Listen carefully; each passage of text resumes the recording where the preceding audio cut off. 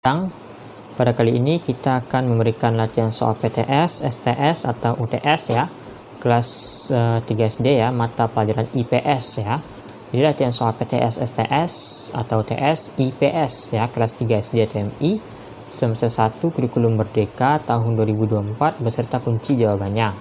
Sebelum kita mulai, jangan lupa klik tombol subscribe dan untuk latihan soal PTS, UTS, mata pelajaran lainnya, kamu bisa cek ya di deskripsi, link videonya sudah ada di sana. Dan mari kita mulai latihannya.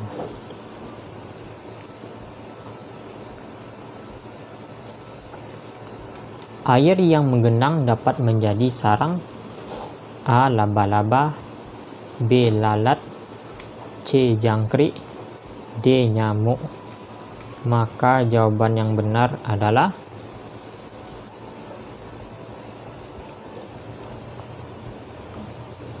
D. Nyamuk jawabannya.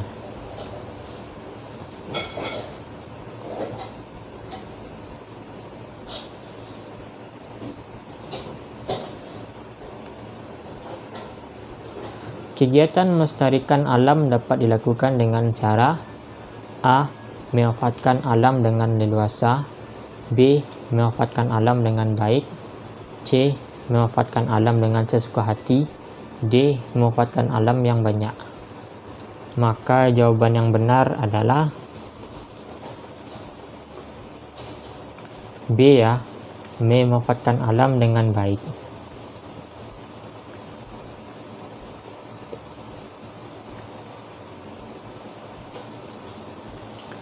Di bawah ini yang merupakan kenampakan lingkungan alam adalah A. Stasiun B. Rumah C. Pasar D. Gunung Maka jawaban yang benar adalah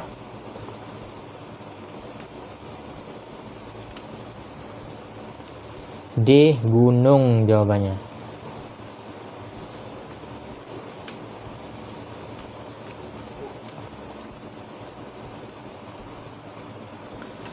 Teman Oke, taman-taman di kota dibuat untuk A. Diambil hasilnya B. Menciptakan kesegaran dan keindahan lingkungan C. Tempat olahraga D. Tempat berjualan Maka jawaban yang benar adalah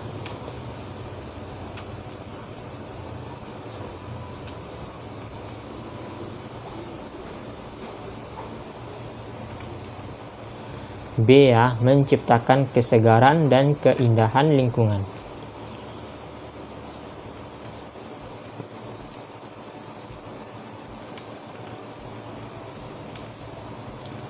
Alam semesta adalah ciptaan A. Pahlawan B. Manusia C. Nenek moyang D. Allah subhanahu wa ta'ala Maka jawaban yang benar adalah D. Allah subhanahu wa ta'ala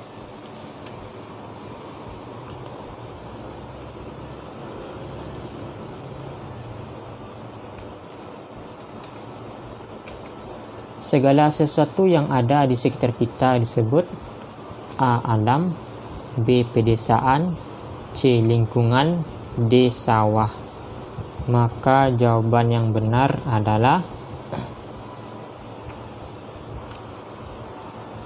C. Lingkungan jawabannya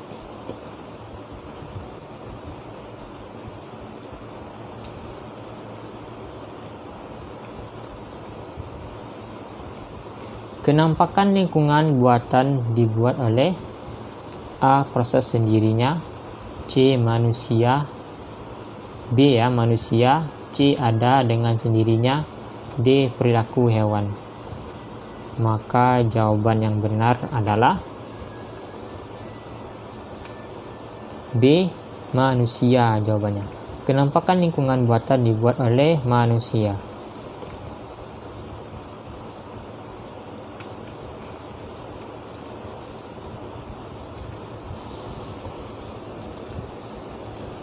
Contoh kepedulian siswa terhadap fauna adalah A. Memberi makan hewan B.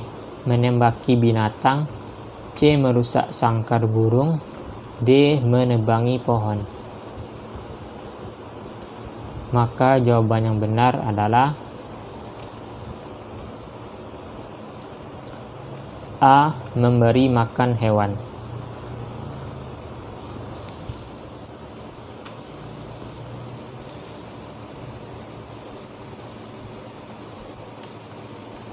Sampah plastik sebaiknya titik-titik. A. Dibiarkan B. Dipendam C. Dibakar D. Dibuang ke sungai Maka jawaban yang benar adalah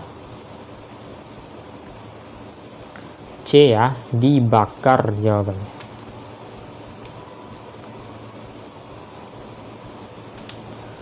Terjadinya polusi udara disebabkan oleh A. Lilin B. Asap pabrik C. Asap kompor D. Listrik Maka jawaban yang benar adalah B. Asap pabrik jawabannya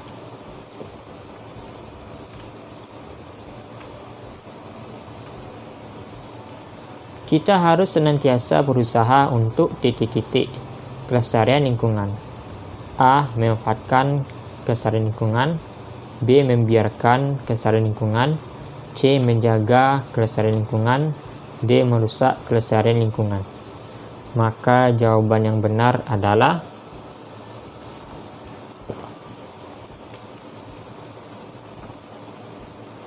C ya, menjaga kelestarian lingkungan. Ya, menjaga kelestarian lingkungan.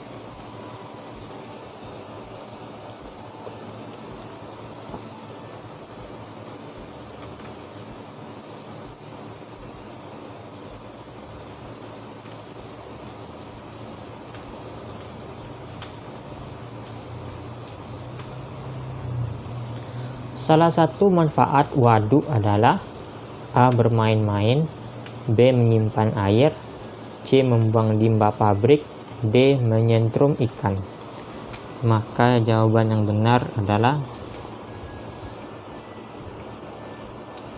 B ya, menyimpan air jawabannya.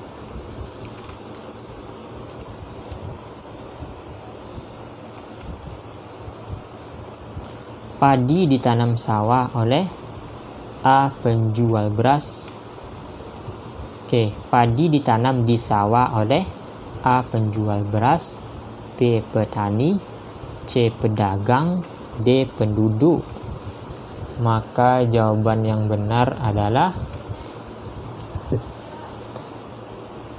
B ya, petani jawabannya.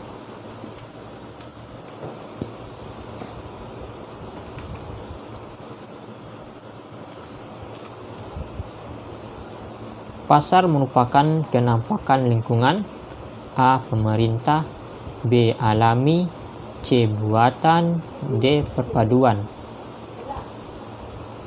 Maka jawaban yang benar adalah C ya, buatan jawabannya.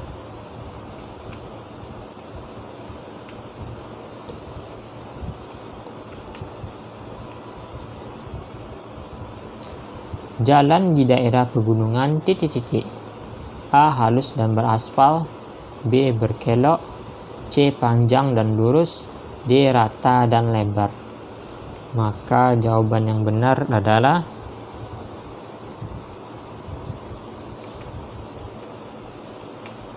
B. Berkelok jawabannya. Jalan di daerah pegunungan itu berkelok.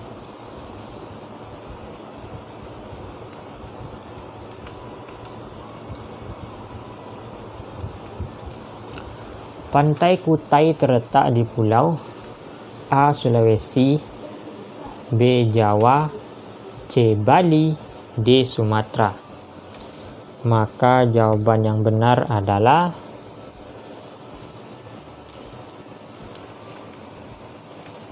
C. Bali jawabannya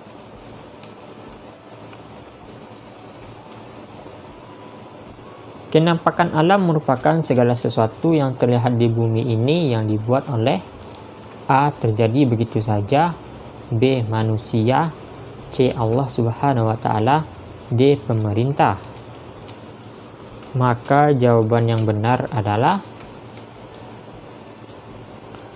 C ya, Allah Subhanahu wa taala.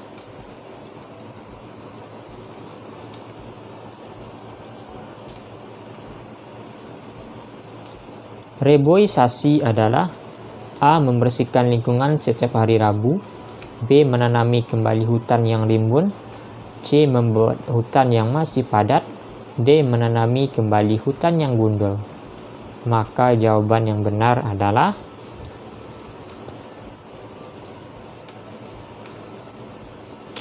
D ya, menanami kembali hutan yang gundul.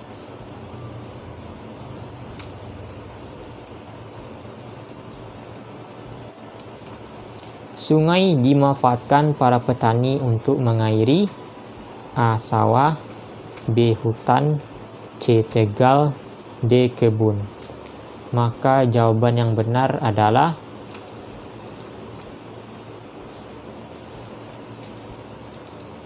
A ya, sawah jawabannya.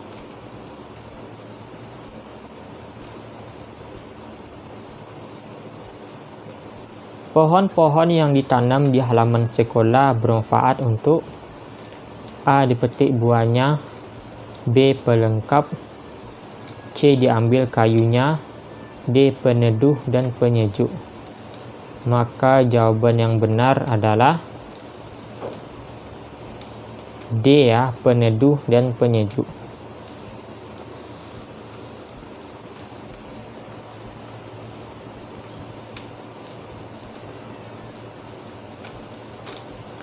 Melestarikan alam adalah tanggung jawab A. Seniman B. Bapa Ibu Guru C. Semua orang D. Orang tua Maka jawaban yang benar adalah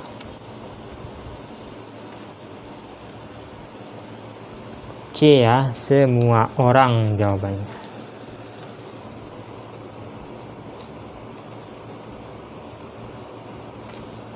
Salah satu penyebab meluapnya air sungai adalah A. Mandi di sungai B. Membuang sampah di sungai C. Membersihkan sampah di sungai D. Mencuci di sungai Maka jawaban yang benar adalah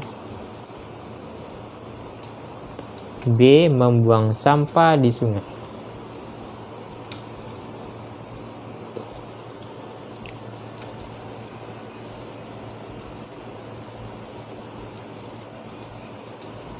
Lingkungan buatan harus kita A. Abaikan B. Biarkan saja C. Gunakan D. Dijaga dan dipelihara Maka jawaban yang benar adalah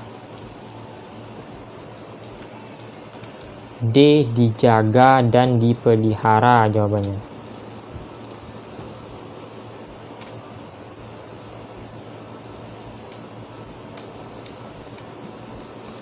Sebutkan ruangan-ruangan yang ada di dalam rumah.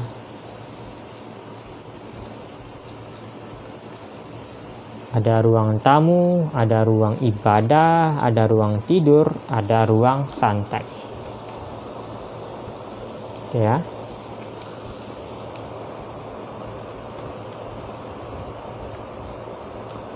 Udara di pegunungan terasa sejuk jawabannya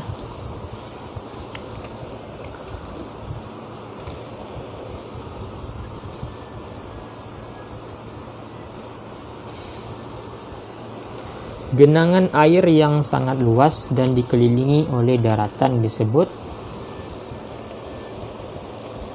danau jawabannya.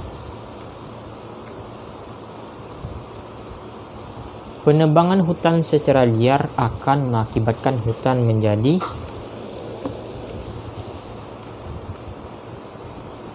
gundul jawabannya ya.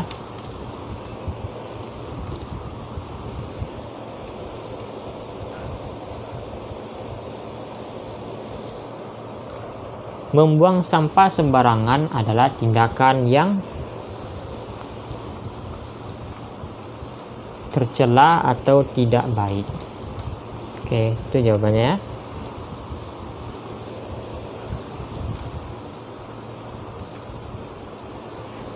Melestarikan alam menjadi tanggung jawab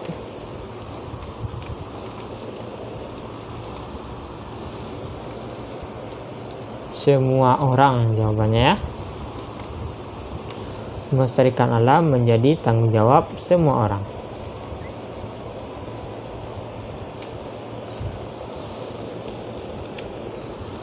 tempat mendaratnya pesawat terbang disebut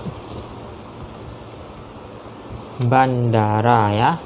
Tempat mendaratnya pesawat terbang disebut bandara.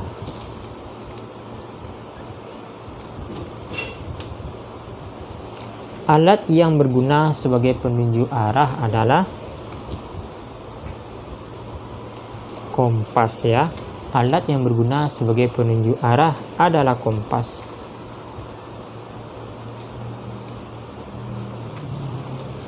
matahari titik-titik dari arah timur. Untuk mengisi titik ini adalah terbit ya, matahari terbit dari arah timur.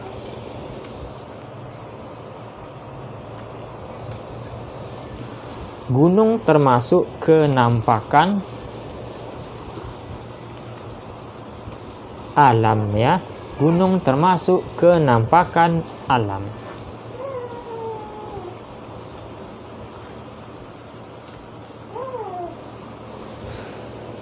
Rumah bermanfaat sebagai tempat tinggal jawabannya.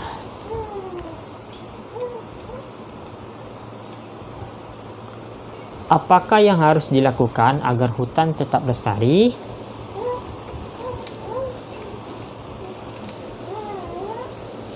Dijaga dan jangan menebanginya. Itu ya jawabannya.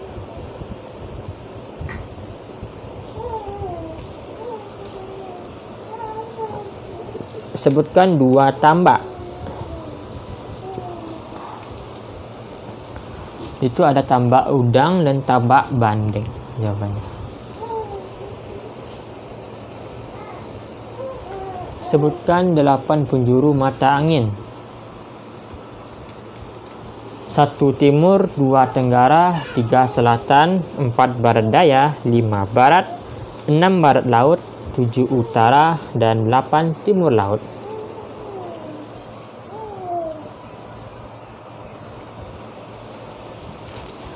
Manfaat danau bagi kehidupan manusia adalah sebutkan tiga saja.